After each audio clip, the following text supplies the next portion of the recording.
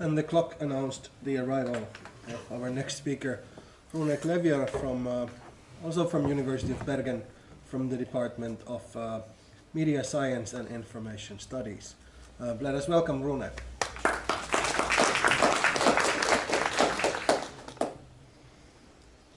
Um, I'll try and I'll try and read um, a short short version of the paper that I've uploaded as a PDF on the website. I don't have a printer, so I'll read it from my phone if you don't mind. Um, um, in video games, what would the concept of a diegetic world be referring to? Um, can we put this idea to productive use in the theory and philosophy of games? And if so, how should we define it? The standard definition, definition of the diegetic, uh, which is most influential in, in film theory, can be intuitively grasped. The diegesis of a novel or a film, Gerald, uh, Gerald Prince and David Bordwell explain, is the fictional world in, in which the events of the story unfold. Intuitively, in our imagination, we think of this world as existing um, independently of its telling. There's nothing here. Yeah.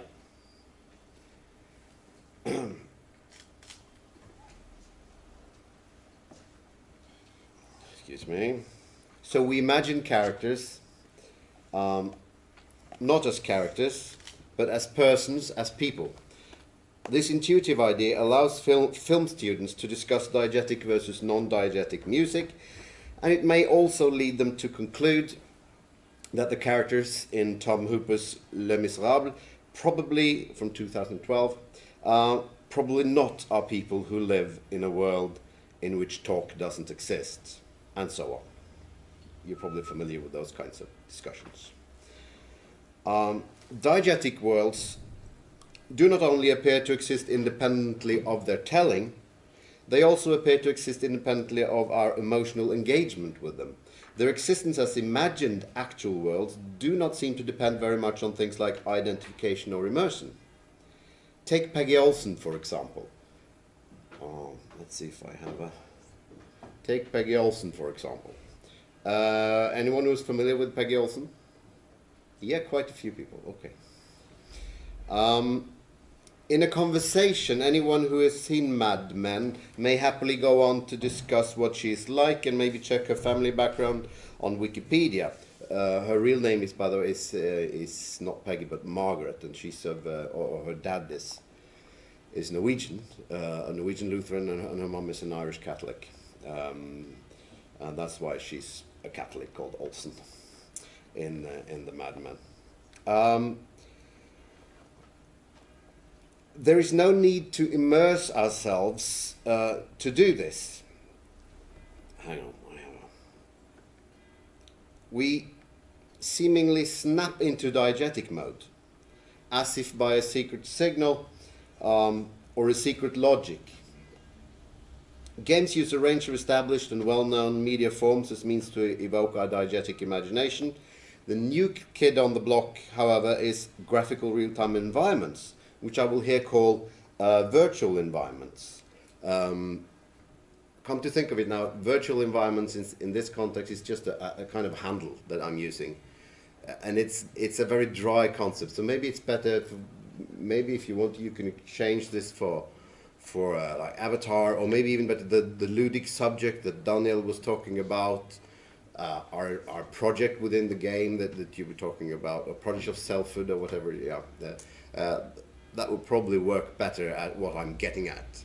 So maybe try and forget this dry technical term of virtuality and um, imagine down, Daniel saying uh, ludic subject, maybe.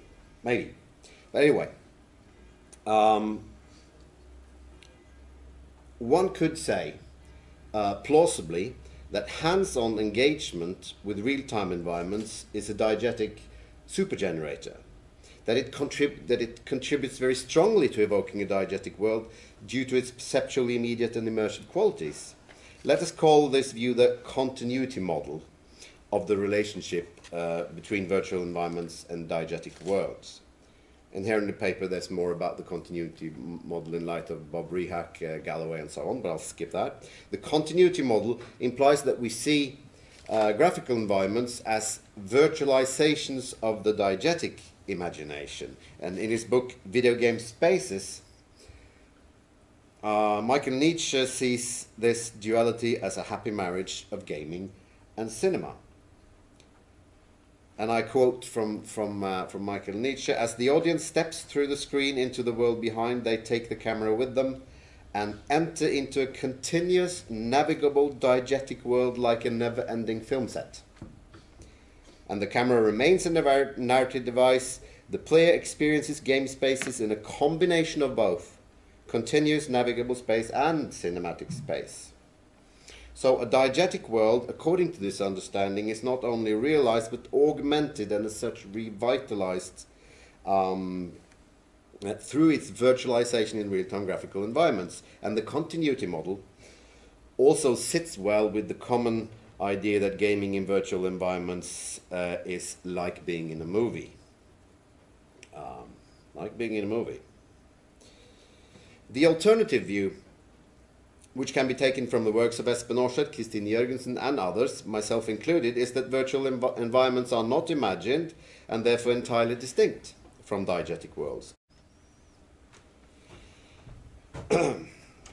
so there is no mention here of the narrative structure or process. The theatrical performance brings about an existence that is given, clearly evident to the mind. This existence, this universe, can be conjured up in two different ways, according to Souriau.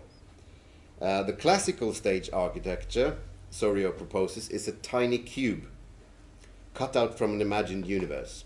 This cube, this nucleus, exerts its power, its authority over the audience through, through the principle of spectatorship. Alternatively, the theatrical performance can conjure such an imagined universe through the principle of the sphere, which is not about spectatorship, but is an invitation to play along, to be immersed, to take part, or we could say, um, I may be stretching Souriau a bit here, but we could say role play. Um, yes, cube specific. But if this is not a process of narration, conveying the unfolding of events in time, then what kind of act is it? What is the general principle at work in diegetic imagination? How am I doing for time, by the way? Okay. Um, Remigius Bunia, or Bunia, Bunia, um, in his discussion of, of Genette's concept of, of diegesis, argues that the intuitive givenness and fullness of diegetic worlds is rooted in a general concept of worldness, a general concept of what it means to be a world. Bunia refers to this as world semantics. And I quote from, from, from Bunia The concept of world makes us assume that a truthful description of the world is possible. And in this sense, world semantics requires not only the real world, but every fictional world to be coherent and complete. Coherence and completeness uh, complement each other. Coherence excludes contradictory descriptions, while completeness means that nothing fundamentally resists description. This is from Bunia, who, who draws on and discusses uh, Etienne Souriau's uh, concept of diegesis. On this account, the world semant- it is the world semantics that allows us to evoke out of thin air from a tiny fragment a world as given and as complete. So I would su- suggest in the following that what Souriau and Bunia is and Bunia is talking about is a very particular kind of fiction rooted in a very particular kind of pretense. So I'll quickly do Searle. It's a longer bit on John Searle in the paper, but in the logical status of fictional discourse, um, according to John Searle, Souriau's presentations of actors on stage, whether as cube or as sphere, uh, is um, a particular kind of speech act, namely an act of pretended reference. Uh, our secret signal or logic is that we pretend to be referring to real people. Um, the idea of a fictional world then, for Searle, in my interpretation, follows from the idea of a fictional person. A person is a person in a world. Um, and this, this uh, we're now into the into the Jigglypuff territory here, I guess, in in uh, in, in terms of uh, referencing by proper names or, or by by uh, species predicates. So, yeah. um, so in so we leave Searle for the moment. And in in Truth in Fiction, David Lewis, he also suggests that fiction is constituted through pretended reference. Uh, he offers a possible world account of the nature of this act of pretended reference. Um, so this is David Lewis's uh, possible world, world account.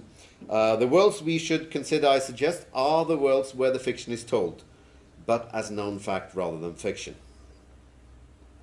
So unlike other non-actual possible worlds, like counterfactuals, for example, like other non-actual possible worlds, a fictional, fictional non-actual world is told from a position within it, a position from which the storyteller is referring to actual people and events. This world is imagined as being our world, our reality, and a useful word for this kind of immersion in the logical sense is recentering. Uh, I take that from, from Marie-Laure Ryan. Um, in diegetic fiction, we recenter our position.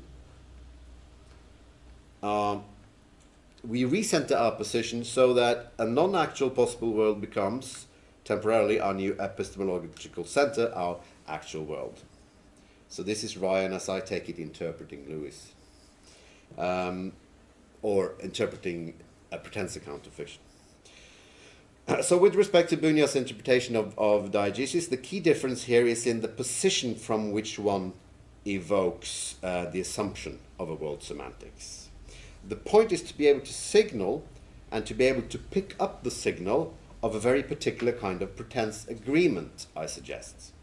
Through an explicit or, expli- or explicit or ex- implicit uh, cons- constitutive act we establish that what will follow is a true recounting of events.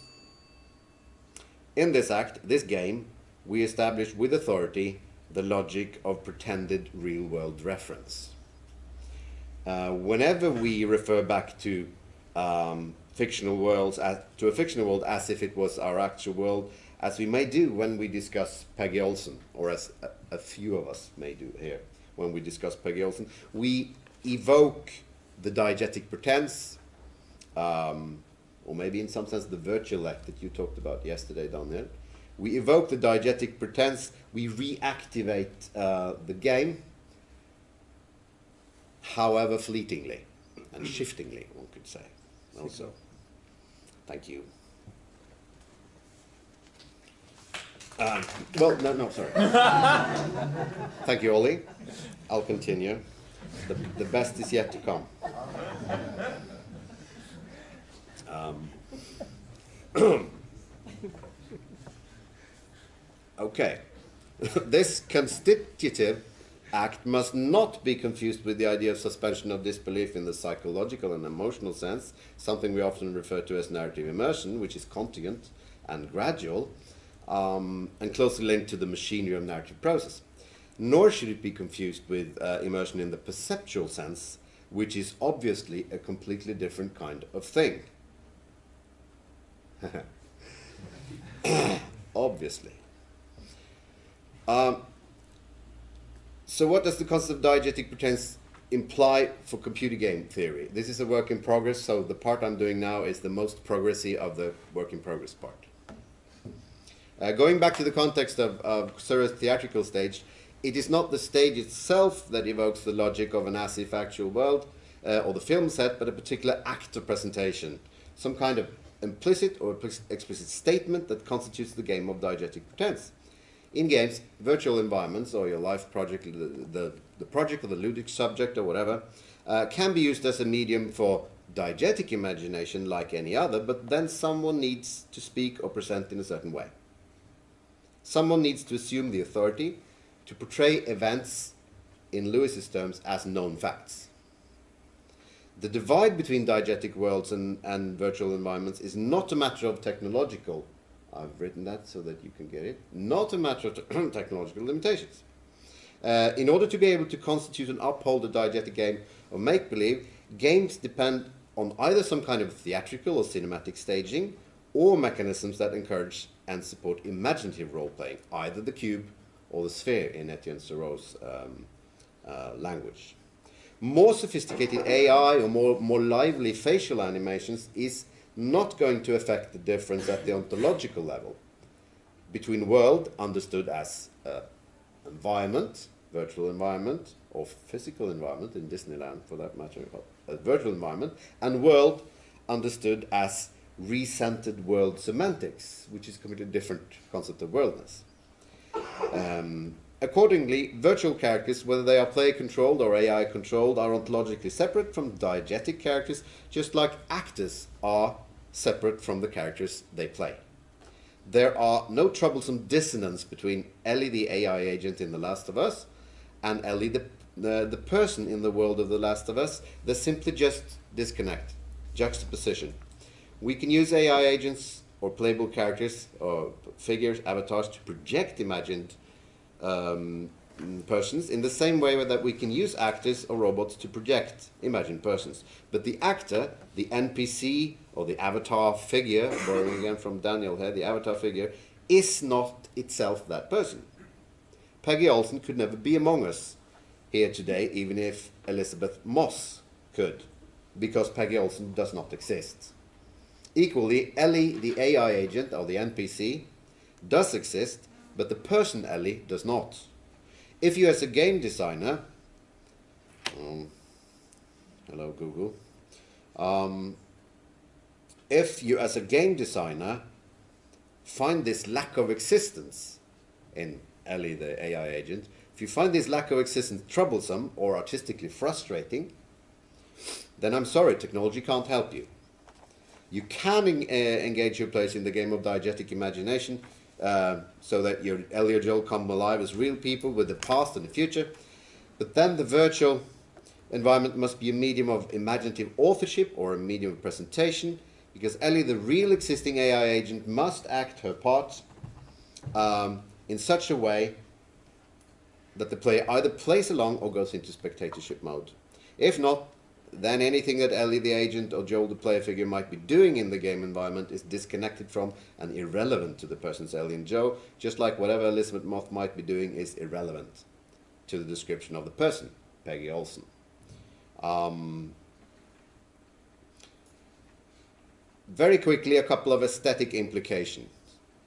First, um, within the broad tradition of action adventure uh, genres of gaming, the default paradigm from Pac-Man on, onwards is not of the diegetic kind.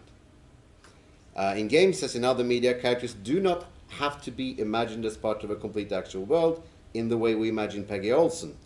In this respect, it seems to me that Mario is roughly on the same ontological kind as early computer therapist uh, Eliza and um, or Borat on David Letterman or possibly Tom and Jerry.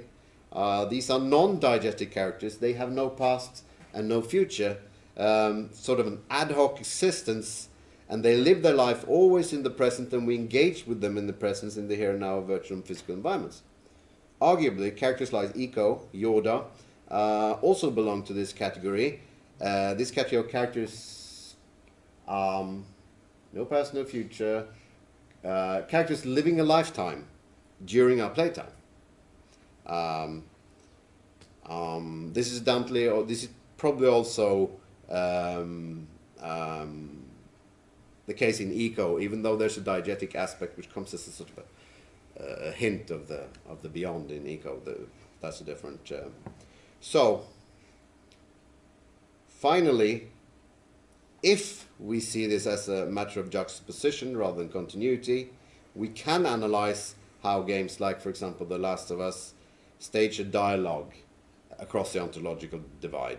In essence, the gap that separates us from the story world during play is the same gap that separates our lives from the fictional worlds of novels, films, and games. I'll therefore, very finally, speculate that games of this sort with heavy heavy use of cutscenes and so on. They reconstruct uh, um, within themselves the general relation uh, between life and diegesis in a compressed and artificially staged form. Traveling with Ellie and Joel is like traveling around the world in 80 days in the manner described in the novel while reading the novel. There would be an absolute ontological separation between you and Phileas Fogg, uh, but also a companionship, a direct uh, resonance uh, with the real life experience of your own uh, adventure. And finally, thank you.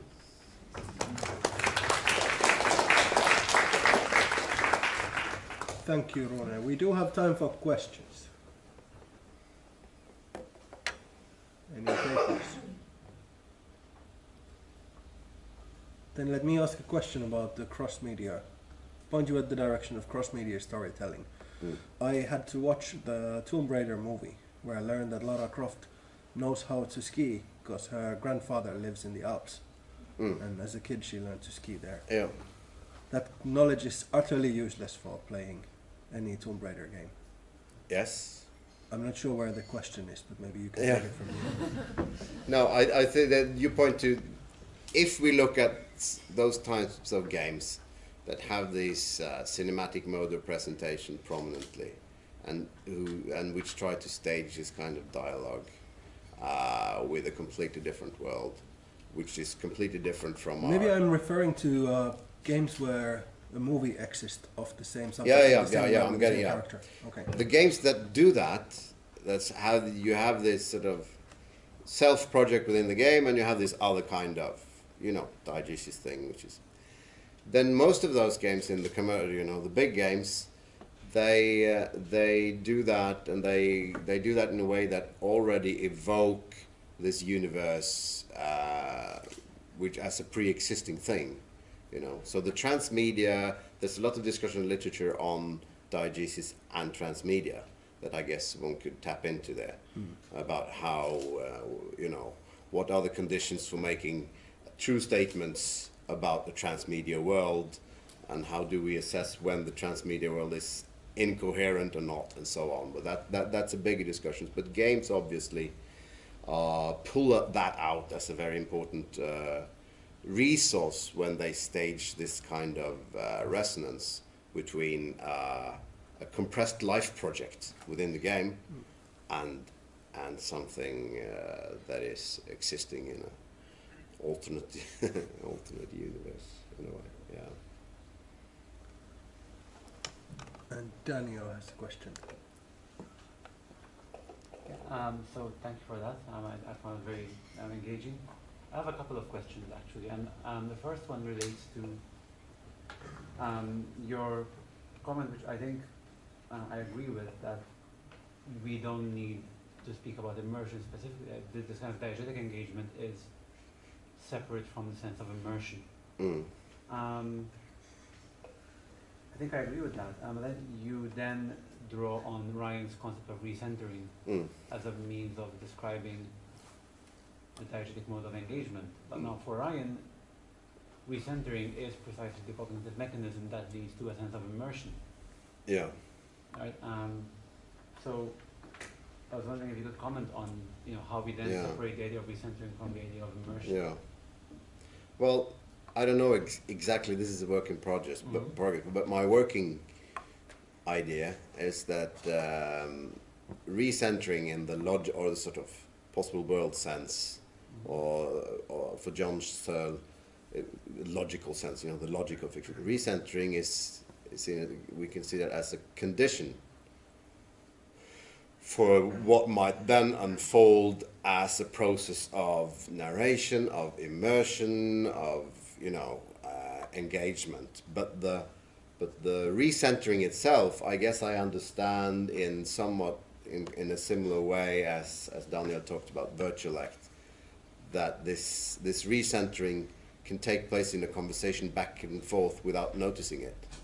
You know, this the, the, this talking about a fictional character as a real character, like like if you say, oh, Peggy Olson's dad is is uh, or father is Norwegian, and you might say, oh, is he? You know, which is a completely ludicrous answer. But, but, but it, it is imaginable that you would answer that. So then we kind of switch into that mode and we might s- switch back again. So, so it's in that sense, but whether, whether you can say that this is independent, we can understand this purely through logic and independently of cognitive mechanisms and so on. Mm-hmm. I don't know. I haven't. That's. I, I'm not making any claims.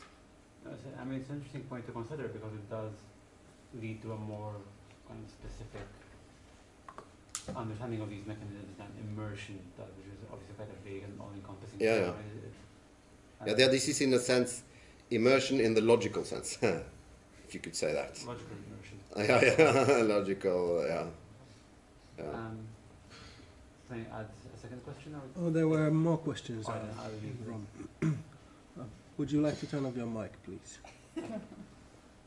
Thank you, Daniel. I think Peter had a question. Thanks.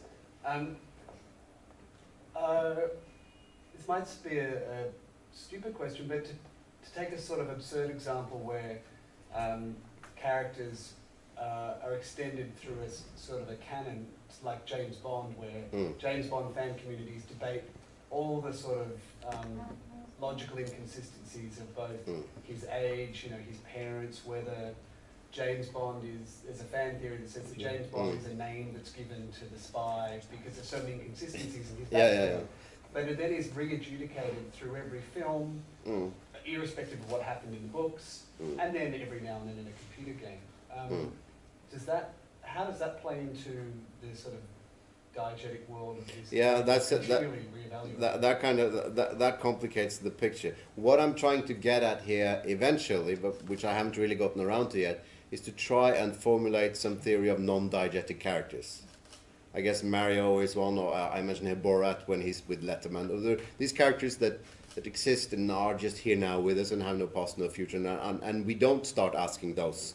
We don't start those discussions. Oh, dad, where he's come from, or how come he's young now? He was old ten years ago, and all, all the kinds of things, because they're just in the moment, you know. Uh, but I don't have a theory of non-diegetic characters. But if I had, I would say that maybe James. Then I could start. Okay, we have non clearly non-diegetic characters, and we have clearly very diegetic characters. On the other hand, like Harry Potter, for example, and then we have fan fiction and all kinds of things that plays with stuff. Tom and Jerry, maybe. So maybe maybe James Bond would. Maybe I would pull James Bond towards the sort of non-diegetic side of it, towards the Tom and Jerry. You know, Tom and Jerry can be in the Middle Ages and slaughter dragons, and then they're in the Olympic Games the day after, and then the ol- they are the only two contestants in the Olympic. It, it doesn't make any sense, you know. They they just pro- project worlds ad hoc based on their characters. You completely uh, they turn around on a dime, you know. So so so I would probably pull that transmedia and fan fiction James Bond in that direction if I had a theory of non-diegetic characters, which I don't. Yeah.